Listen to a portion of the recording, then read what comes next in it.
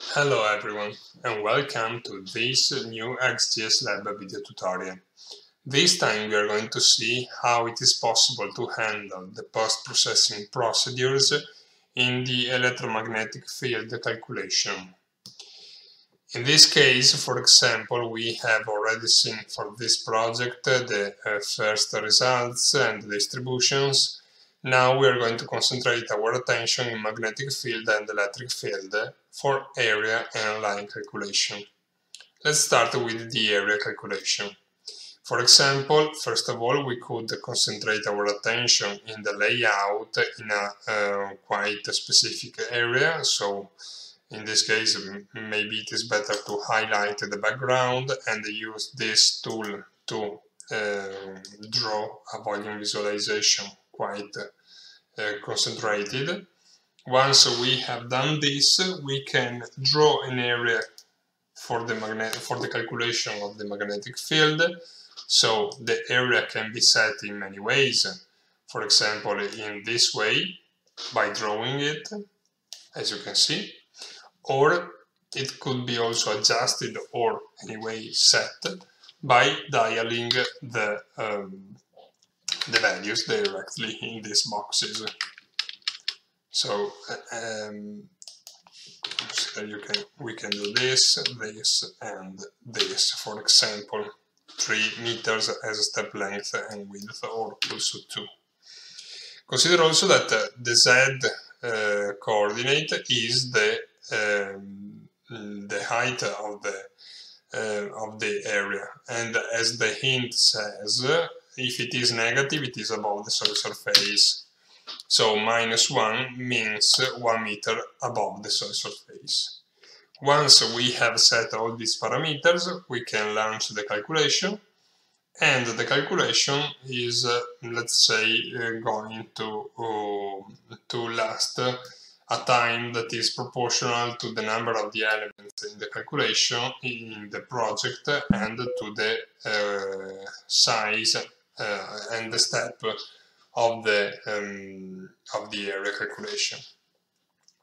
Consider anyway that if the, the area calculation is very long, you can save it once it is finished in order to keep it available for following calculations. So let's suppose that this calculation was very long, we could save it in XML um, format.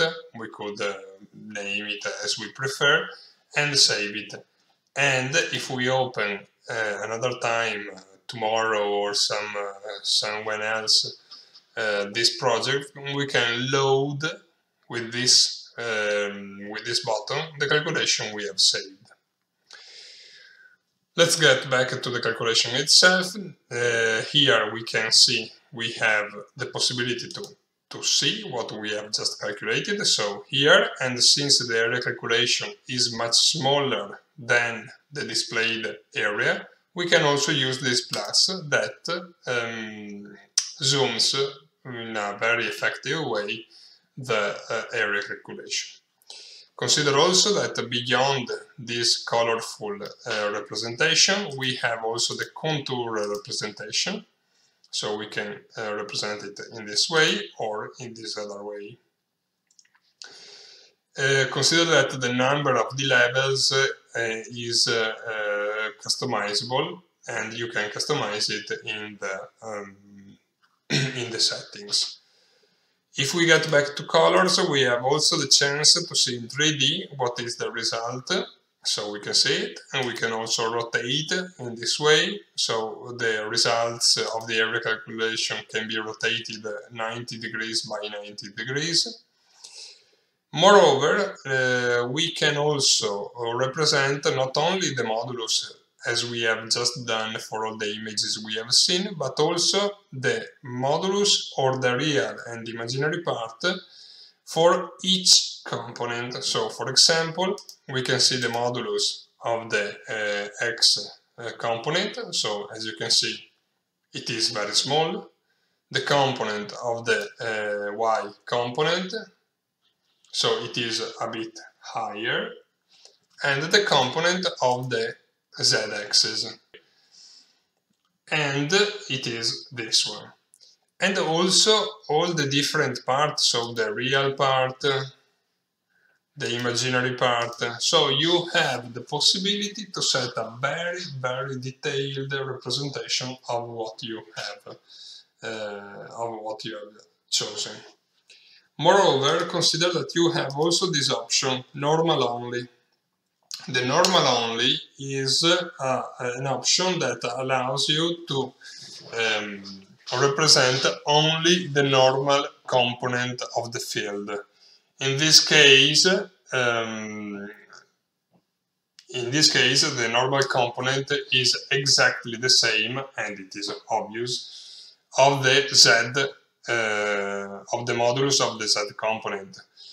But anyway, with the normal only uh, option in the legend, where you have all the meaning of all the colors, the maximum and the minimum about the values represented, with the normal only uh, option, you have also the magnetic flux through the surface you have set and the induced electromotive force along the um, perimeter of this surface. So you have the possibility to view also this kind of uh, uh, information.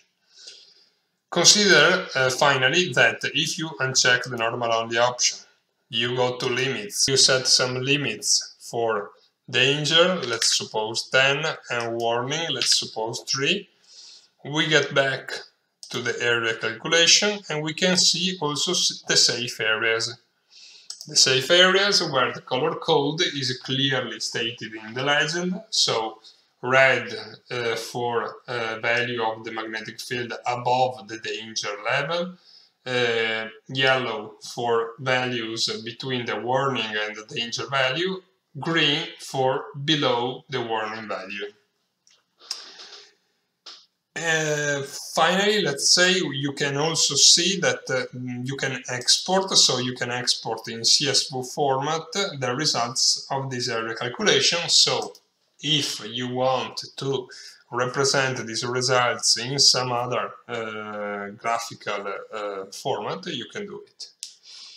Again, about the magnetic field, we can also calculate the magnetic field on a vertical surface that we can draw for example in this way.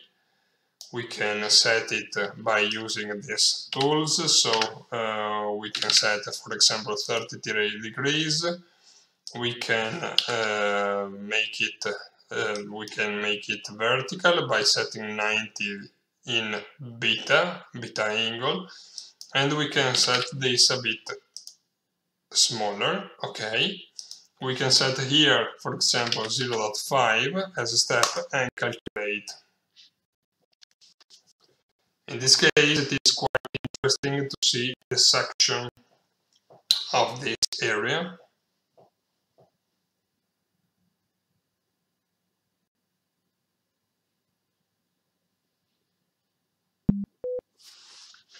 Okay, so now we can set a maximum value represented, for example, of uh, 500. We can uh, represent in 2D if we want, or also clicking the zoom option, we can zoom it and we can see the magnetic field. We can also lower this maximum in order to uh, view a better resolution of all the uh, magnetic uh, field levels and also set the contours in order to have all the different contours. Consider that when you have the contour picture, you have this option, that is to say that you can export this contour in the DXF file. So if you export this in the DXF, you can create a file with these curves and you could also import, import these uh, curves in the original file that you have used to create the model since the reference coordinate system is the same, so you could also make this kind of operation. Finally, let's go to the electric field. Everything is very similar. You can draw an area, like in this case. You can set it uh, one or let's say two meters at this time above the soil surface. we can set uh, 3 as step and calculate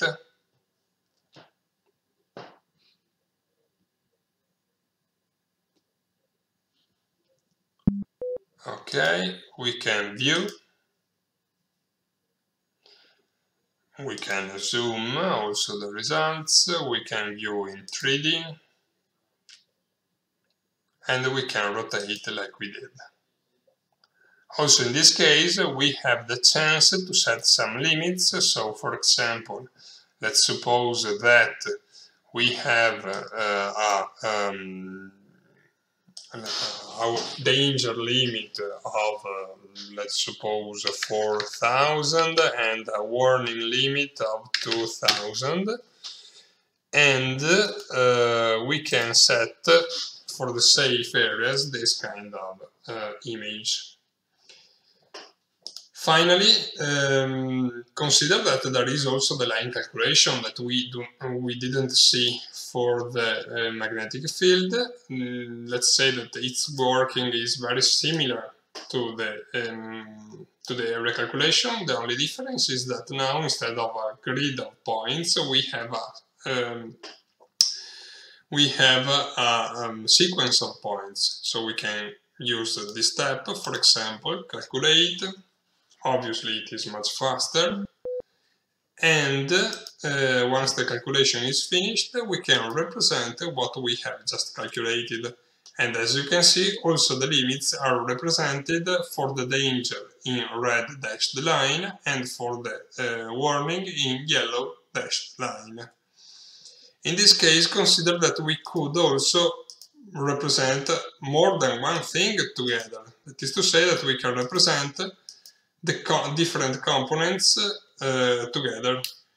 In this case, we can see that the, the modulus is given basically by the z component. And we can see, anyway, all the different components by also highlighting the real and imaginary part. Let's uh, try to put also the uh, y, but as said, only the z can be seen because basically we are very close to the soil surface and the uh, predominant uh, component is the Z1. So this is all also for this uh, video. I hope it has been useful to you and it is helpful to you for uh, using the software. See you next video. Bye bye.